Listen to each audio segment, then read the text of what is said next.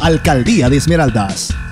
17 personas de los barrios del sur de la ciudad de Esmeraldas culminarán este jueves 23 de junio los talleres de primeros auxilios, organizados por el municipio de Esmeraldas a través de la unidad de amparo social. La colocación de sueros, inyecciones, toma de presión y curaciones de heridas son parte de los conocimientos adquiridos por los participantes.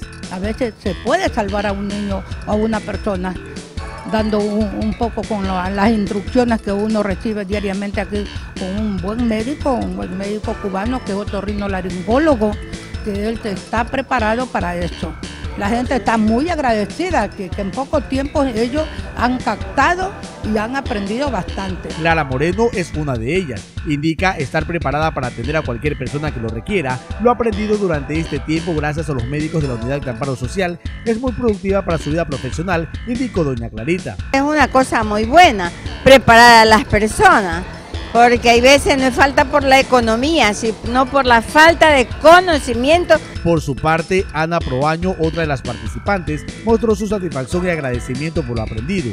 Ahora podré poner sueros e inyecciones a familiares y amigos, así como también generar recursos económicos, expresó la alumna.